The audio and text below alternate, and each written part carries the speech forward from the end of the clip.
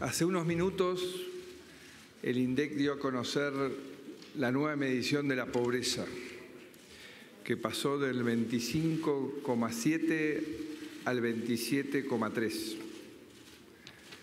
Es un número que esperábamos, que refleja las turbulencias de los últimos meses y las dificultades que estamos atravesando. No es una noticia fácil, claro que quisiéramos que fuese distinta, y que más quisiera yo que poder seguir viniendo acá, confirmarles una y otra vez que vamos avanzando en la reducción de la pobreza, como sucedió durante las mediciones anteriores. Pero no creemos que el país pueda progresar escondiendo los datos como se hizo durante tanto tiempo. La pobreza no desaparece porque se deje de medirla. Siempre, siempre vamos a decir la verdad y presentar las cifras como son ahora las presentamos sin negar la crisis y sabemos que en el futuro, con la misma sinceridad, vamos a poder contarles cómo el país va saliendo adelante.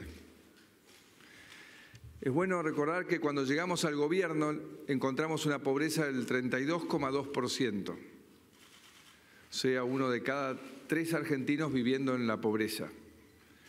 Y ni siquiera ese dato era real.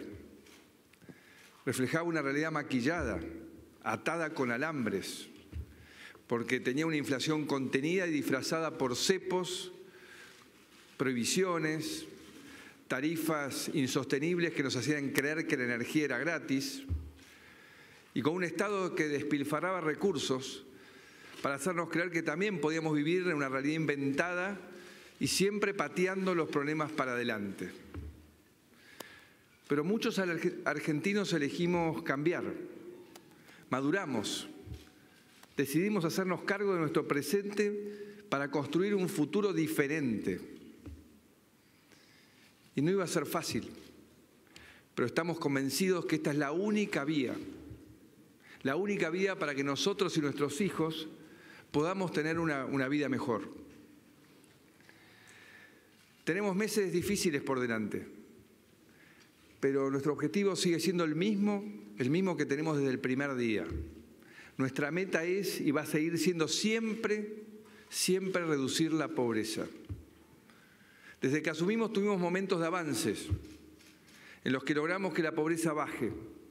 Y esto nos alentó a seguir trabajando junto a millones de argentinos que todavía seguían y siguen viviendo en una situación difícil. Ahora a raíz de esta tormenta sabemos que las cosas van a tardar más. Los resultados que iban a llegar antes ahora van a demorar. Y los indicadores de pobreza de las mediciones de marzo y septiembre también van a mostrar retrocesos. Pero no vamos a dejar de hablar de la pobreza y menos dejar de trabajar para reducirla porque tengamos retrocesos.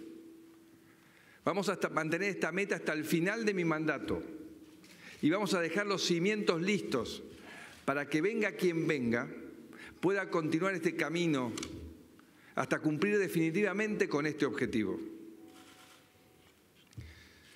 Todo lo que hacemos en cada área de gobierno, toda búsqueda de consensos, de apoyo internacional, apoyo del mundo, todo esto tiene un único objetivo, lograr que cada vez más argentinos puedan salir de la pobreza y lograr que cada vez más argentinos puedan vivir mejor. Mientras trabajamos por esta meta, vamos a seguir acompañando a los que más lo necesitan. Vamos a dar respuestas concretas donde haya más urgencias. Por eso hace pocos días los beneficiarios de la asignación universal por hijo recibieron un pago extraordinario y aumentamos los montos de los programas sociales. También ampliamos el programa de precios cuidados, con especial foco en alimentos de la canasta básica. Relanzamos los créditos ANSES y ampliamos el programa Mercado en tu barrio, para que puedan acceder a productos más baratos y, como lo dije en aquel momento, sin intermediarios. En diciembre vamos a volver a aumentar los programas sociales y vamos a hacer otro pago extraordinario para los beneficiarios de la UH. Además, recordemos siempre que la mayor parte del presupuesto que ahora estamos debatiendo en el Congreso para el próximo año está destinado a la inversión social, como nunca antes lo estuvo.